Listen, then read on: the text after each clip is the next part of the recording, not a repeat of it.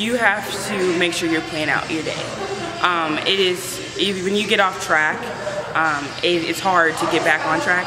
And I also think doing a sport it helps keep you on track because you want to compete, and that's what I want to do. So I'm always making sure I have good time management, make sure I'm going to bed at the right time, and you know, just keeping my body healthy and also my mind healthy um, is very important when you're a student athlete.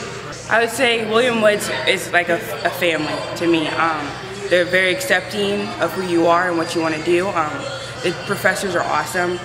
They actually want to meet with you and talk to you if you need anything. Um, and it just makes you feel like you're at home. And it's, to me, it's my second home. So I enjoy it.